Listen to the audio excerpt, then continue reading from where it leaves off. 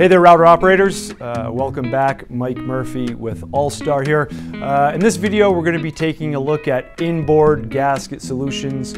Uh, inboard gasketing intended for those dedicated fixtures. Uh, two solutions for dedicated fixtures, the inboard gasketing and the cover gasket. Uh, cover gasket, uh, we'll look at it in another video. But the inboard gasketing for a dedicated fixture, to me, a dedicated fixture for dedicated jobs, repetitive stuff, production runs. Uh, we're getting away from spoil boards. We're not going to spoil this board.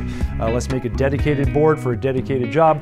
Uh, inboard gasketing, the best way to do that for a variety of reasons. When we recess that gasket, it's going to have an extended lifetime to it. Also brings the part flush up against the fixture, so your Z depth is, is tight, tight tolerance on the Z depth because that gasket is really going to zero out when it's in a channel uh, and recesses down in there. Some of the tricks our customers have taught us over the years, maybe they'll chamfer the top of that channel channel uh, to allow that gasket a little extra relief room to zero out.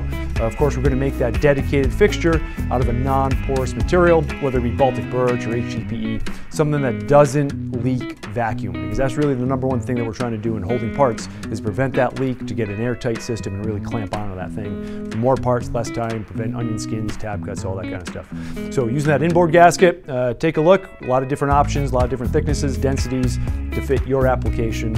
Uh, but let us help you to hold it better, cut it better, and profit better, and give us a shout today.